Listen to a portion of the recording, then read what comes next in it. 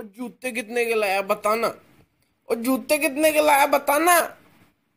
बता, चार सौ। चार सौ रुपए के लाया। चार सौ के हाथ लगा चार सौ के जूते लाया तो हाथ लगा देना।